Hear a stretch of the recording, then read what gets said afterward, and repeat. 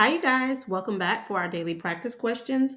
As always, you know I like to first get into my introduction and disclaimer before getting started with our questions for today. So, for those of you who are familiar with me, hey y'all. For those of you who are new here, welcome, welcome, welcome. I am Dr. Brittany Weinstock. I am a family nurse practitioner and I am the founder and CEO of the Nursing Studio. I provide resources, tools, review courses, review videos, review books, one on one sessions, and more to assist nurses as well as nurse practitioners with success on their boards as well as in practice. I've been doing this since 2015, assisting nurses and nurse practitioners internationally with exam success.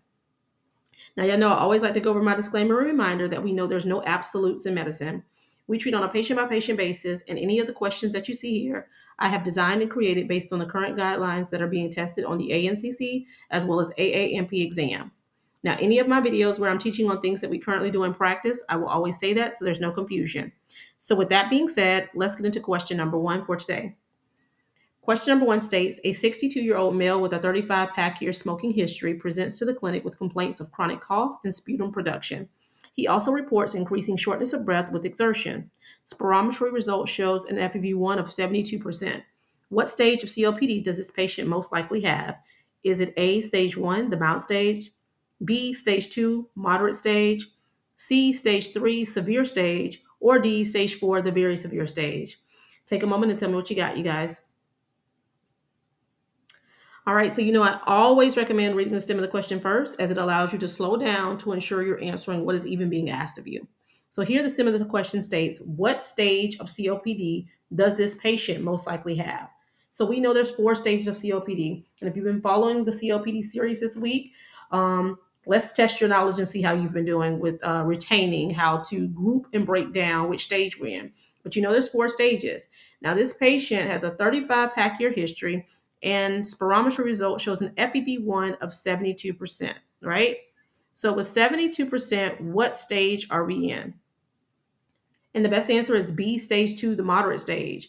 Remember, from 80% and greater, that's stage one, mild. And then from 79% to 50% is stage two. So this will be stage two. All right, question number two. A 70 year old female with moderate COPD, stage two, has been diagnosed after presenting with increasing dyspnea and frequent cough. Her spirometry results show an FEV1 of 60%. She has had one exacerbation in the past year. The patient is currently using a SABA as needed. What is the next best step in her treatment? Is it A, long term oxygen therapy? B, a SABA as needed, C, a LABA, or D, start systemic corticosteroids daily. Take a moment and tell me what you got. All right, so the stem of the question here states, what is the next best step in her treatment? All right, so when we're talking about treatment, you know, I always tell y'all, y'all need to run it back and look and see if they have provided you with a diagnosis. If they have not, then you need to run it back a step further and look at those assessment findings, right? But here they have given us a diagnosis. She has stage two COPD, right? Her FEV1 is 60%. She's had one exacerbation and she's currently on a SABA as needed. But what do we know about stage two? In stage two, yes, we know we continue our short acting, but we know we also want to introduce a long acting at this time, right? And also remember Brittany's brilliance. We also um, introduced pulmonary rehab. Pulmonary rehab is two words, so we introduce it in stage two, right? But we already have the short acting on board. In stage one, we only need our short acting. Stage two, we want to add a long acting on with that short acting. And if they tell you it's flu season, make sure you're given the flu vaccine. So the best answer here is C, a LABA.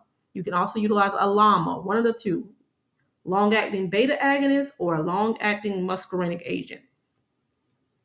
All right, and question number three a 76 year old male patient with very severe COPD, stage four, is hospitalized after an acute exacerbation.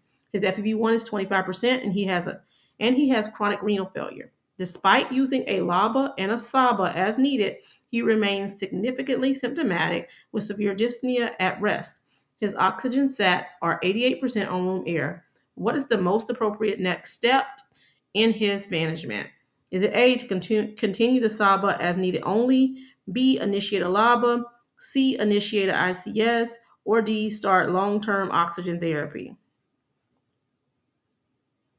All right, so the similar question here states what is the most appropriate next step in his management? So we want to see what we need to do next most appropriately. And in this thing, he has uh, stage four COPD. Now, they have tried all of the steps. He has um, been on the LABA, the SABA, and now he's on stage four. So, really and truly, stage three, we would have implemented an ICS. So, know that he should be on ICS, and this is something that we can also utilize now. But the priority here is to start him on some long term oxygen therapy. Why? You want to do this because one, his SATs are already 88%. His FEV1 is remaining 25%, so he is in stage four. And you know, in stage four, we want to make sure we start oxygen therapy. But in this event, um, I do want you to know that he should be on the ICS as well. And then, but here, priority, we want to go ahead and start that oxygen therapy, okay? All right, you guys, I hope you found this helpful. As always, be sure to like, comment, subscribe, and share with whomever you may think may find this beneficial as well. But y'all know what to do. Y'all make sure y'all meet me back here. And if you need any of the resources that I do offer, feel free to reach out to the nursing studio by giving us a call at 803 400 6864. You can also shoot a text message to this number or shoot us an email to the nursing studio, the number one at gmail.com. All of the things that I do offer are linked in the bio of this channel. Um, my review book, you can either get it in an ebook or paperback option. If you like to study independently, the self paced review is also linked in the bio. If you want to do practice question, the QBank options are linked there.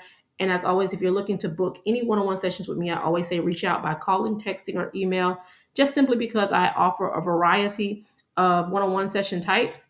And I like to gauge what you truly need um, currently for your learning needs to make sure you're booking the appropriate one on one session. All right, you guys, y'all know what to do. Y'all make sure y'all meet me back here. Happy studying. Bye, y'all.